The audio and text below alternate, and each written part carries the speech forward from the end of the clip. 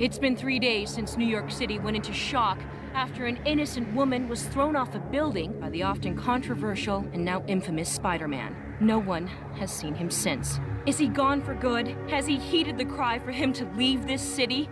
Only time will tell. But one thing is certain the people of New York overwhelmingly feel they will be better off without him. They're right, of course.